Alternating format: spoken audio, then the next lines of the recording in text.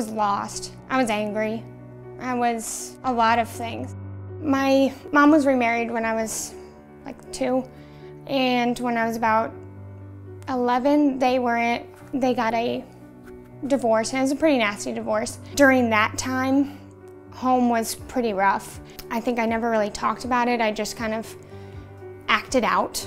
The straw that broke the camel's back was I was 14 and I decided to take the truck out for a joyride and I got in a car accident. My mom was done. She was like, you're jeopardizing your own life, you're jeopardizing other people's lives, like this isn't okay.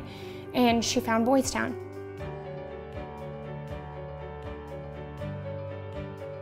My family teachers are Chris and Michelle Taber.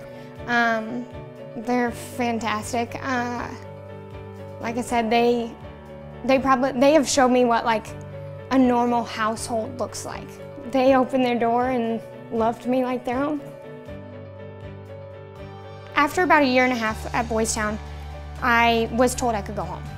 And uh, we got a phone call, my mom called, and she told me that my best friend had gone to a party and she had went to bed and passed away. She never woke up. And I think at that moment I realized Boys Town had changed my life and put me so that I wasn't in a situation like that. And I wanted to help save somebody, I guess. Maybe working with kids, like somewhere down the line I could save one kid, and one family, one friend group from that.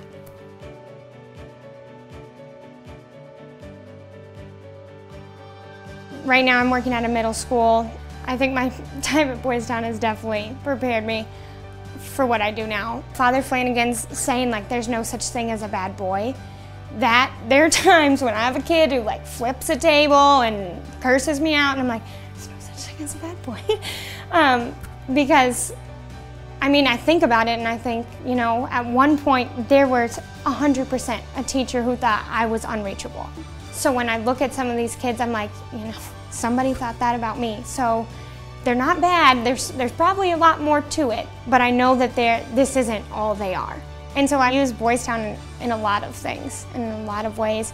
And I think especially my, you know, I'm kind of tough, but then I have, you've got to love them too. You got, you got to have that happy medium, and I think Boys Town does a great job of that.